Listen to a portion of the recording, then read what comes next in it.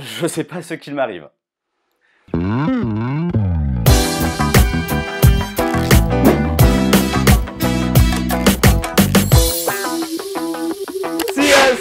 C'est Romain Aujourd'hui, je vais te parler d'une nouvelle série française intitulée Le Bracelet Rouge, diffusée sur TF1 à partir du 5 février 2018. Mais la série n'est pas une création originale, puisque c'est l'adaptation de la version catalane Polseres Vermelles, sortie en Espagne en 2011 et diffusée en France sur numéro 23 en 2013. Point de comparaison avec la série originale dans ma critique, parce que je l'ai pas vu. Les bracelets rouges a été adapté dans de nombreux pays, comme l'Italie ou encore l'Allemagne, et a même eu droit à une version américaine en 2014 sur Fox. Une fois n'est pas coutume, la France arrive après la bataille avec sa propre version en 6 épisodes de 52 minutes, confiée à Vema Productions. De là, j'ai mené ma petite enquête pour en savoir un peu plus sur la société, et d'après mes sources, elle est à l'origine de la série Profté et du téléfilm Ce soir, je vais tuer l'assassin de mon fils. Enfin bref, j'ai donc regardé les deux premiers épisodes qui étaient diffusés le lundi 5 février 2018 sur TF1 et du coup, je vais te dire ce que j'en ai pensé. L'histoire se concentre sur les vies d'un groupe d'adolescents avec différentes pathologies dans un hôpital à Arcachon. Quand la série a été annoncée, j'ai eu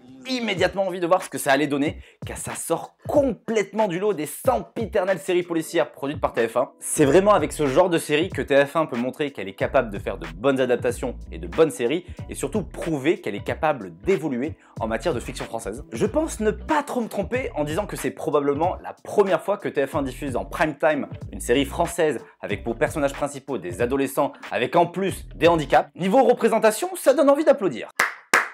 Est-ce que la série est pour autant réussie? Eh bien oui, et j'ai même été plutôt surpris du résultat, car d'habitude avec les séries TF1 ça tombe dans le pathos larmoyant, et avec les bracelets rouges c'est pas le cas une seule seconde. Même si sur les affiches promotionnelles, ce sont les noms des adultes comme Michael Youn ou encore Camilou qui sont mis en avant, mais les stars de la série, ce sont vraiment les jeunes acteurs qui sont pour beaucoup dans la réussite de cette adaptation. Chaque personnage bénéficie d'une écriture soignée et les interprétations des jeunes acteurs sont justes, avec une certaine innocence assez brute, que ce soit dans les moments émouvants ou plus drôles. Vraiment, un grand bravo à Luna Espinosa, Audran Catin, Esther Valding, Aziz Diabaté Abdoulaye, Tom Rivoire et Marius Blivet, qui est par ailleurs le narrateur de la série. Les bracelets rouges est vraiment atypique, que ce soit au niveau visuel avec deux des ados qui sont chauves, ou même les membres amputés qui sont explicitement montrés à l'écran, même encore au niveau des dialogues avec des répliques limite sur le handicap, sacrément culotté. Autre chose que j'ai énormément apprécié, et ce sont les musiques de la série confiées à Hit and Run. Dès le premier épisode, j'ai fait Ah Je les ai trouvées résolument modernes et différentes de ce dont j'ai pour habitude d'entendre dans des séries françaises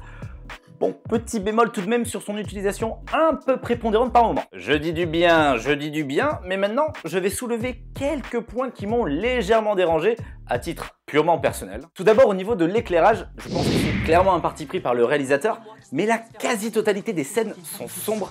Il y a beaucoup de zones d'ombre sur le visage des personnages, des lumières tamisées, c'est plutôt mal éclairé et ça donne un côté très oppressant, surtout que la quasi-totalité des scènes se passe en intérieur à l'hôpital. Ensuite, dans les moments un peu plus rythmés, j'ai trouvé que le montage ne suivait pas du tout et ça dénaturait le dynamisme des plans, ça tombait souvent à plat alors que c'est censé apporter du rythme. Par exemple dans l'épisode 1 quand il danse à l'extérieur sur l'héliport, ben...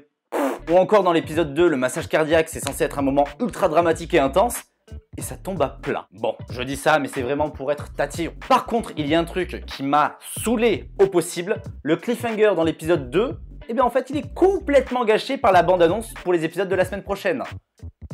Ça sert à quoi de faire un cliffhanger du coup? Je pense qu'il y a vraiment besoin de refaire un petit point sur ce que c'est un cliffhanger, donc du coup je mets ma vidéo juste ici. Peut-être que TF1 va comprendre En résumé, porté par une écriture soignée et une note positive sur le handicap, les bracelets rouges délivrent une série poignante, teintée d'espoir et de bienveillance.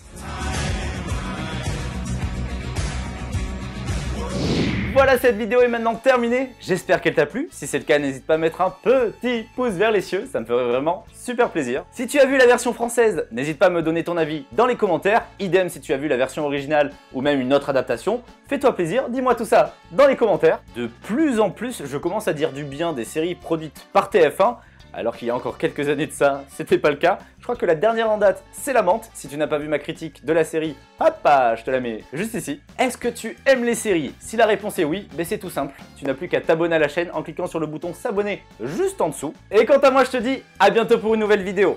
Allez, salut